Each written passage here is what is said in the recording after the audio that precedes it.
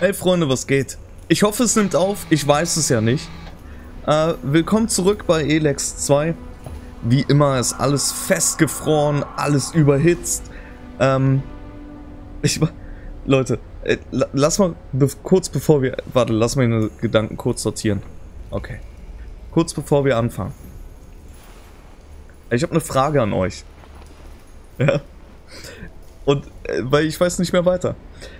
Es ist ja auffällig, dass ich die Aufnahmen von Elex immer so ein bisschen weiter rauszöger.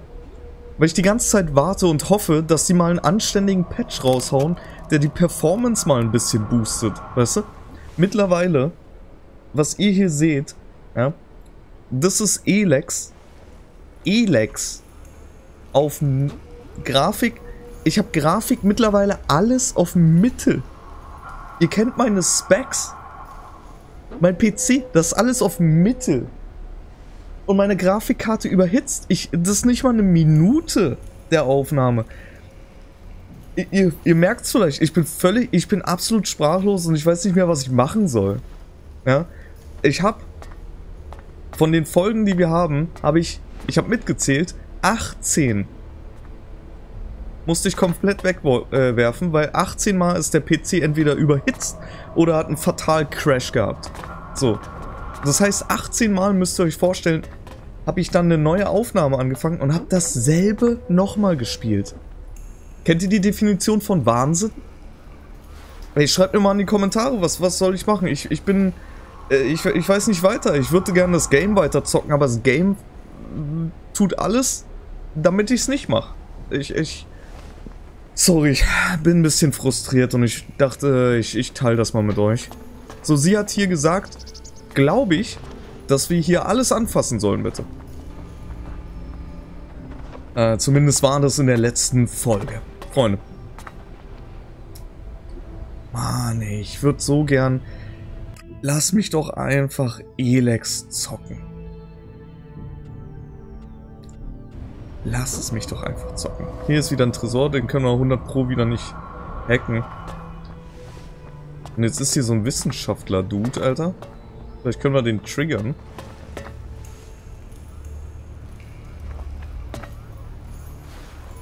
Sind deine Muskelverstärker kaputt oder warum läufst du so? Nee, ich muss kacken.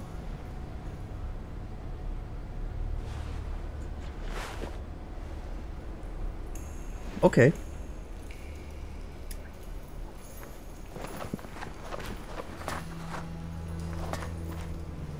Schleichst du etwa? Das sieht er. Schleichst du etwa? Ja, aber ich will hier das Elexit klauen.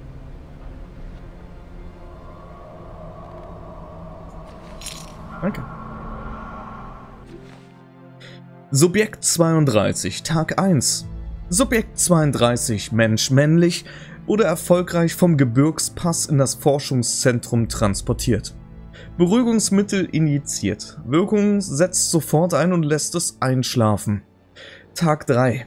Erste geringe Ration dunkles Elex wurden dem Subjekt zugeführt. Es wurde im Laufe des Tages keine Wesensveränderung festgestellt. Tag 5. Dreifache Dosis dunkles Elex wurden verabreicht. Nach 30 Minuten wurde ein erhöhter Puls und extreme Schwankungen der Körpertemperatur festgestellt. Subjekt 32 fing an zu zittern und wurde umgehend fixiert. Tag 7. Hautfarbe hat sich in ein dunkles Grau verändert. Subjekt ist hochaggressiv. Das klingt wie ein vielversprechender Test. Lass mich raten.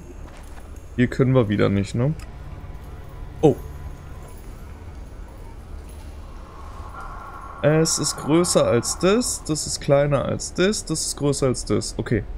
9 ist größer als 2, ist kleiner als 7, ist größer als 5. 7 ist größer als 5, ist kleiner als 6, ist größer als 2. Geht doch. Ich bin fucking Genie. Kleiner gelber Stein. Oh, gegen Resistenzen. Alright. Versiegelte Elex-Fraktion. Ah, ich mag das in dem Game, dass man einfach so irgendwelche ähm, Quest-Gegenstände bekommen kann, ohne zu wissen, dass das eine Quest ist. Was willst du noch? Siehst du nicht, dass ich zu tun habe? Doch. Und du bist? Cora. Schön. So einfach werde ich dich wohl nicht wieder los. Ich heiße Cora, Neuroethologin. Neuro... was? Ethologin. Oh, wie erkläre ich das am besten? Ich erforsche neurologische Strukturen, die zu bestimmtem Verhalten in Mutanten führen können. Also Muttergene?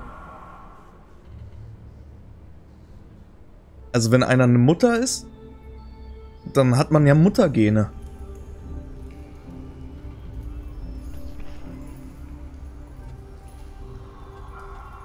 Ich glaube, das habe ich verstanden. Gut, nochmal hätte ich es dir auch nicht erklärt. Ich habe genug eigene Probleme. Zum Beispiel? Du willst meine Probleme wissen? Ja. Azog ist mein verdammtes Problem. Ich brauche Proben. Proben bekomme ich nicht ohne Expedition. Eine Expedition darf ich nicht leiten ohne Expeditionsgenehmigung. Und eine Expeditionsgenehmigung bekomme ich nicht ohne die Zustimmung von Azog. Und die will er mir nicht geben. Ich kann seine Worte immer noch hören. Der anzunehmende Ertrag rechtfertigt nicht das errechnete Risiko. Verdammter Bürokrat. Ich mag den auch nicht. Wollen wir ihr helfen? Wir können ihr helfen. Du wirst ja richtig emotional bei der Sache. Emotionen bei einem Alp? Kann man dir dabei helfen? Vergiss es. Das Arschloch bekommst du nicht überredet. Entschuldige bitte. Ich koche einfach vor Wut, wenn ich darüber nachdenke. Bekommst du kein Elex? Doch, doch. Durch eines meiner Experimente wirkt Elex bei mir nicht mehr so wie früher. Aber das ist eine Geschichte für ein anderes Mal. Wenn ich mich nicht gerade mit irgendwelchen Expeditionsgenehmigungen oder Azog herumschlagen muss. Als Wissenschaftlerin kannst du mir doch sicher etwas beibringen. Natürlich. Sagt dir eine temporäre oder permanente Verbesserung deiner Körpereigenschaften zu? Immer doch. Immer In noch. dem Fall kann ich dir etwas über die Herstellung der notwendigen Substanzen beibringen. Du bestimmst den Zeitpunkt der Unterweisung. Holy shit. Ähm, Ich will von dir lernen. Gut, was soll ich dir beibringen? alles. Okay, was kann sie denn? Sie kann Tränke.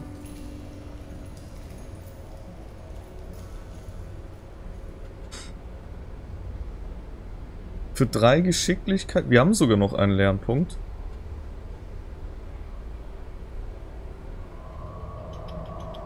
Wir brauchen ja noch mehr Punkte da drin.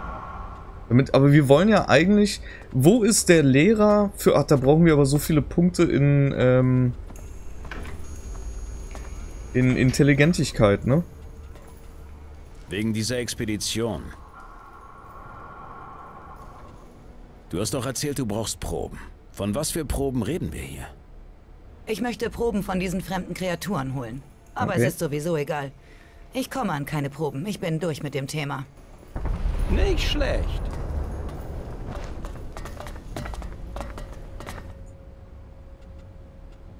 Wegen dieser Expedition. Du lässt nicht locker mit dem Thema, was? Warum ist dir das so wichtig? Worum geht es bei deiner Expedition genau? Ja. Die Botschaft kommt anscheinend nicht in deinem Hirn an, was? Es ist egal. Solange ich keine Erlaubnis von Azog habe, eine Expedition zu dem alten Konverter zu führen, spielt das keine Rolle.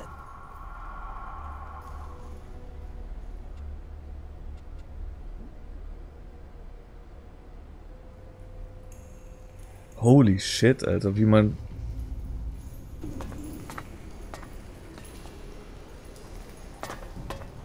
Wie man Lüfter abdreht. What the fuck?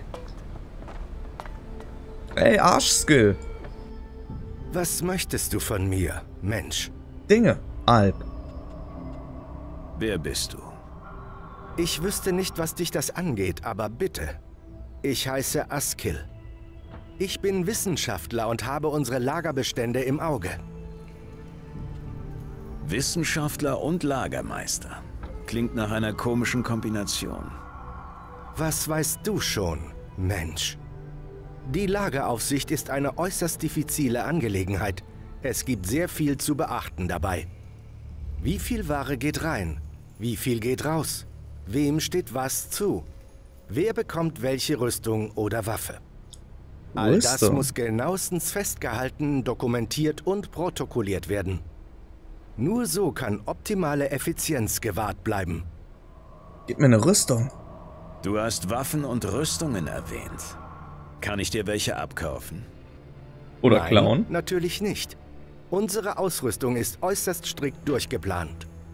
Ausschließlich Alps haben Zugriff auf unser Lager. Und selbst da gibt es noch Unterschiede, je nachdem, welchen Rang sie bekleiden. Und jetzt lass mich in Ruhe damit. Ich habe noch eine Effizienzprognose zu berechnen. Okay.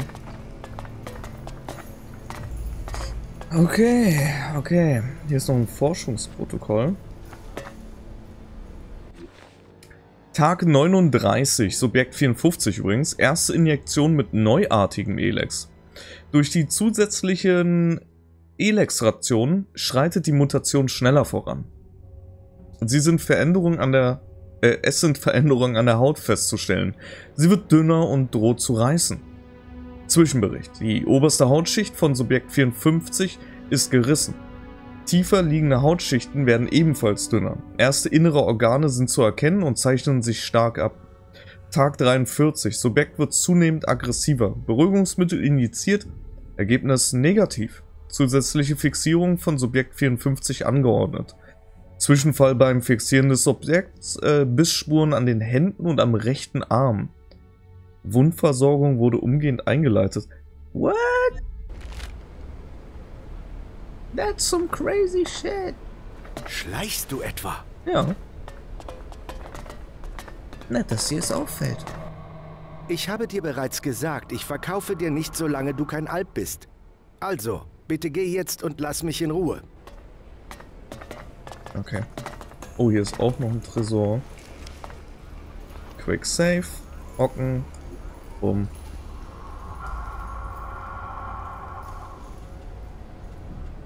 Den können wir. Das war nichts. Den können wir nicht mal versuchen zu hacken. Alright. Halb so wild, Freunde. Wir kommen wieder und dann klauen wir hier alles, was nicht nied- und nagelfest ist. Sind deine Muskelverstärker kaputt oder warum läufst du so? Das geht dich gar nichts an. Da ist ein starker Heiltrank und der starke Heiltrank sagt, klau mich.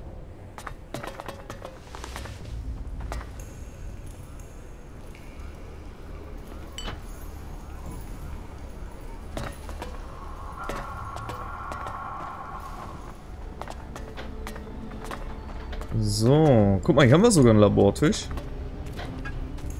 Ja, brauchen wir Chemie 2, alleine schon für den kleinen Elex-Trank. Für den mittleren brauchen wir Chemie 3 sogar schon. Also ich denke mal, ohne Chemie 3 werden wir nicht äh, zurechtkommen mit den ganzen Tränken, die wir uns reinballern wollen. So ein Forschungsprotokoll. Ah, Subjekt 54 wieder. Tag 34. Maximale Dosierung rein Elex wurde verabreicht. Subjekt zeigt keine weiteren Wesensveränderungen. Tag 37. Die Zufuhr von reinem Elex wird komplett heruntergefahren. Subjekt wird dadurch auf den ersten Kontakt mit dem neuartigen Elex vorbereitet. Okay. Ja, die haben ein bisschen crazy shit mit dem gemacht. So, ich hoffe mein PC erholt sich jetzt hier draußen. Hier draußen scheint es nicht so schlimm zu sein. Mein Problem ist jetzt einfach, ich weiß nicht zu 100% wo wir schon waren. Weil das alles schon ein bisschen her ist. Aber ich gehe davon aus, wenn hier Sachen sind, die wir klauen können, dann waren wir da noch nicht. We weißt du, wie ich meine? So, so einfach. Ausschlussprinzip. Keine Heiltrank. Subjekt 42 weigert sich weiterhin mit uns zu kooperieren. Die Aufnahme der Medikamente erfolgt ab sofort über die Nahrung. Daher werden die Substanzen vor der Verabreichung in die Lebensmittel gespritzt. What? Die Durchführung der Versuchsreihe ist damit gewährleistet. Es wurden Auffälligkeiten in der Gestik und Mimik des Subjektes beobachtet. Starkes Schwitzen und zitternde Hände sind ebenfalls wahrzunehmen. Das Subjekt spricht kaum noch. Falls eine Unterhaltung zustande kommt, ist es schwer zu verstehen. Zusätzlich wurde festgestellt, dass es halluziniert. Nächste Phase wird eingeleitet. Die zu verabreichenden Medikamente werden erneut um das Doppelte erhöht. Okay. Ich habe keine Ahnung, welchen Tag wir heute haben. Um mich herum ist alles still geworden. Ich zittere am ganzen Körper.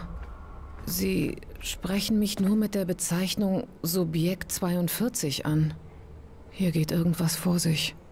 Ich kann aber nicht erklären, was es ist. An die frische Luft darf ich auch nicht. Das Einzige, was Sie mir gelassen haben, ist dieses Aufnahmegerät. Überall scheint auf einmal Blut zu sein. Ist es echt?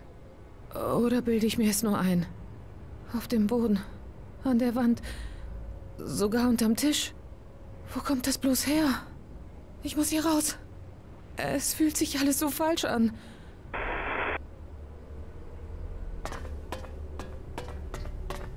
Damn, Alter, die sind völlige Freaks, die Alps.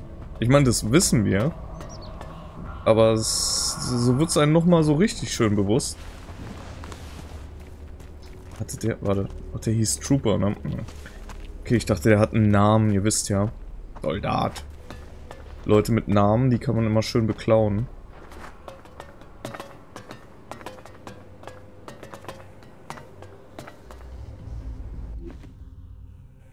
Organtransplantation. Spender, Kreatur der Fremden, Geschlecht nicht definierbar.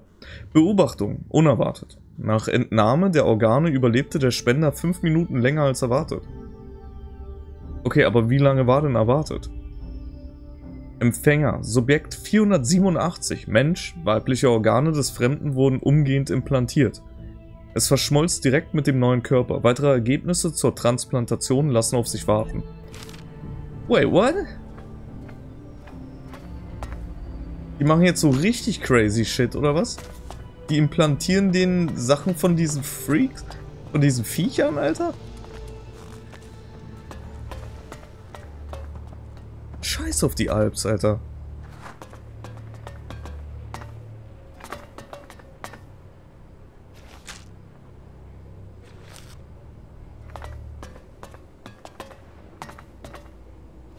Ich mal gesagt, dass ich es toll finde, dass ein Elex-Clown einfach keine Konsequenzen hat. Das ist so schön. Das ist wie im echten Leben, Freunde. Wie im echten Leben.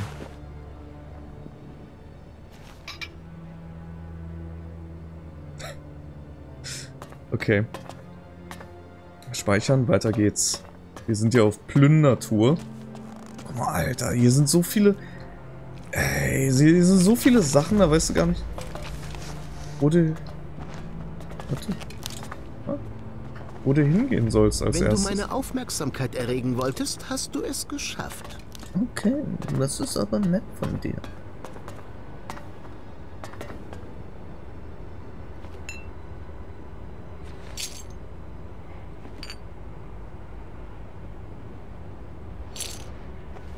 Okay.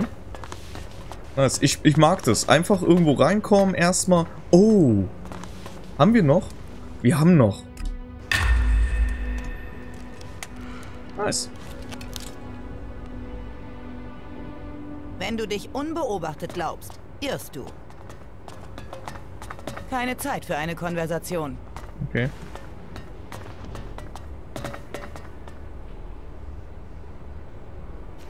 Wollte auch nicht konversatieren.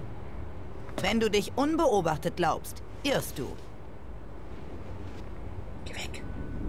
Psst, geh weg.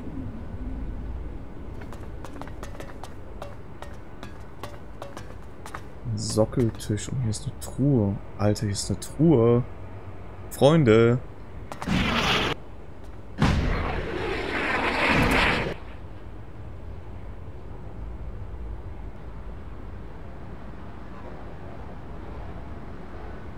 Kommen hier rein und warten auf uns.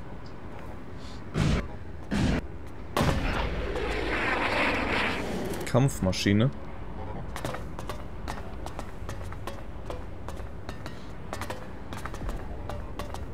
Okay, wie kriegen wir sie dazu, dass sie... Vielleicht so? Wenn du dich unbeobachtet glaubst, irrst du. Ha, siehst du, funktioniert jedes Mal. Wenn du dich unbeobachtet glaubst, irrst du.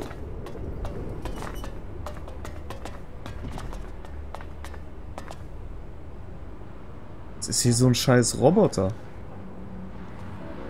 Das Leben ist schwer.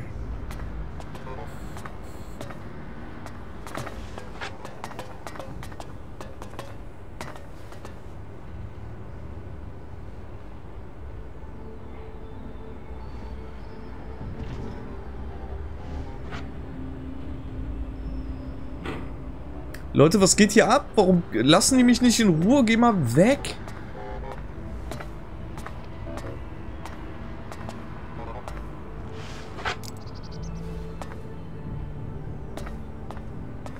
Jetzt steht einer am Eingang. Ich will doch hier nur klauen in Ruhe. Freunde, seid doch nicht so.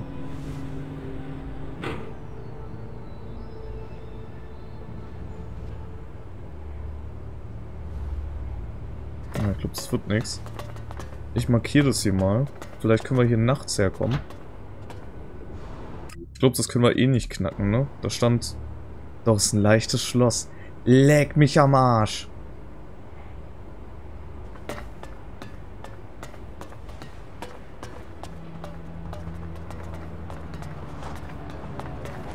Hör auf herumzuschleichen.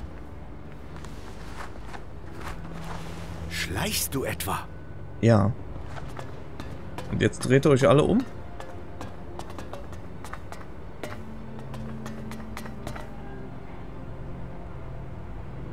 Schleichst du etwa? Es funktioniert jedes Mal, ne? Kaugummi geklaut?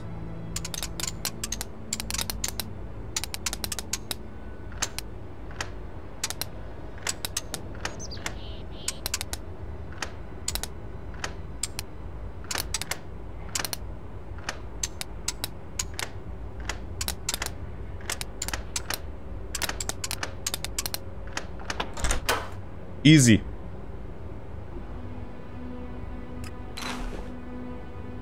Gewöhnliche Alpkleidung. Oh. Okay, das hat sich gelohnt, Freunde. Ne, oft denkt ihr ja, das lohnt sich gar nicht, was ich hier für einen Schwachsinn mache. Oh, meistens habt, habt ihr recht.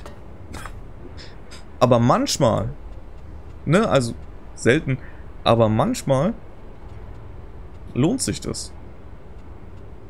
Dude.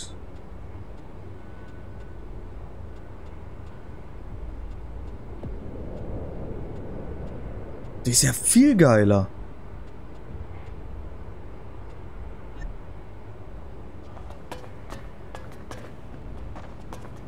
Die ist ja viel geiler.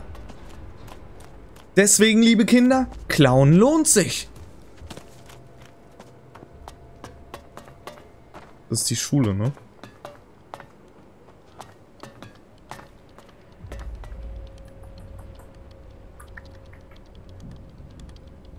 Was soll dein Verhalten? Geh aufrecht.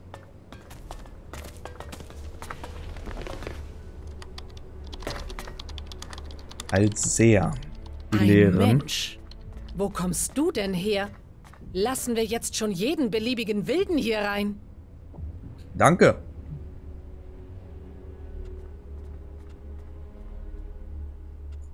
Auch schön, dich kennenzulernen.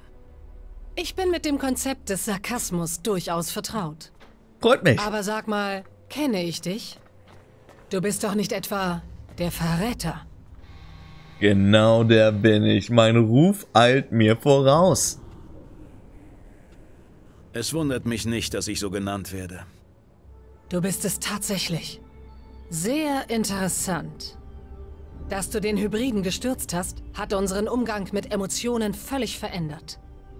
Ich gehöre vermutlich zu den wenigen, die dich nicht dafür hassen.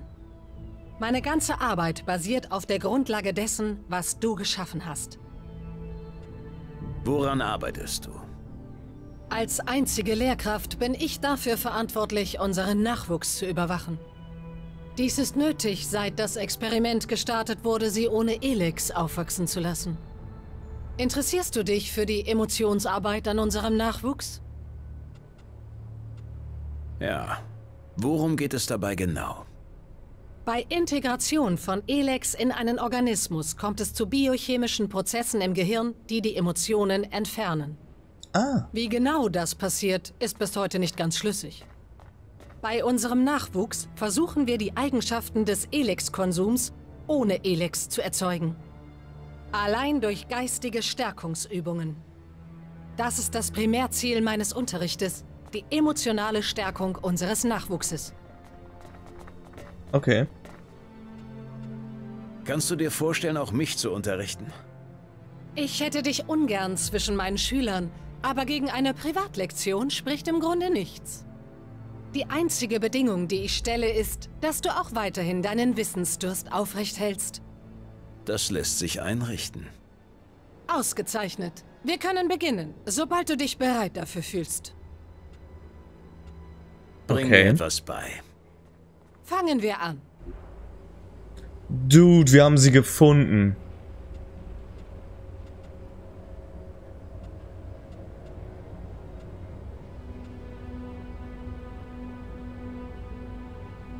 Zusätzliche Attributspunkte. Ein Attributspunkt je Stufe. Okay, wir machen vier Punkte in Gerissenheit und dann bekommen wir zehn Attributspunkte. Klingt wie ein guter Deal.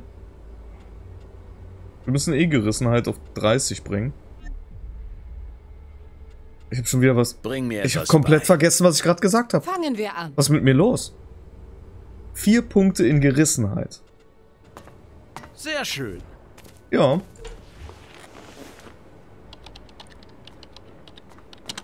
Gerissenheit.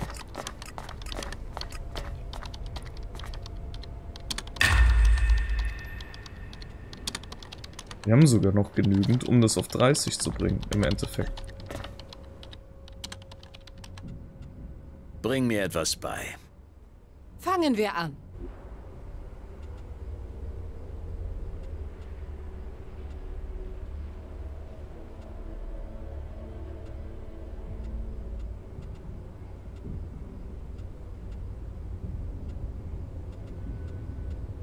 Ich rechne gerade im Kopf so ein bisschen durch. Wir haben 16. 16 Punkte haben wir noch. 5 bräuchten wir für Gerissenheit und 7 für Intelligenz.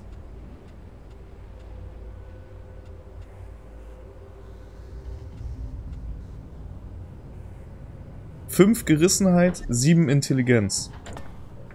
Fünf Gerissenheit, sieben Intelligenz. Fünf Gerissenheit, sieben Intelligenz. Fünf Gerissenheit, sieben Intelligenz. Fünf Gerissenheit. Sieben Intelligenz.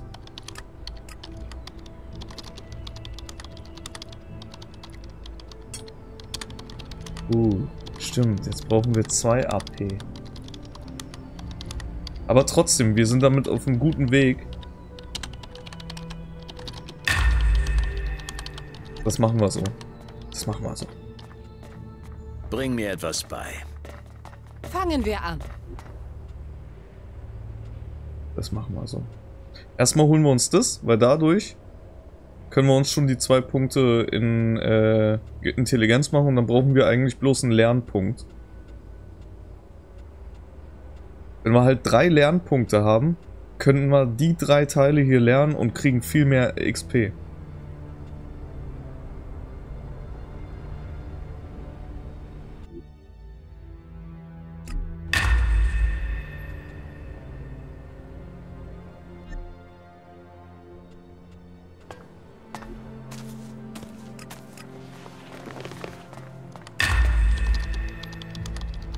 Da müssen wir bloß gucken, dass wir irgendwo einen Lernpunkt herbekommen.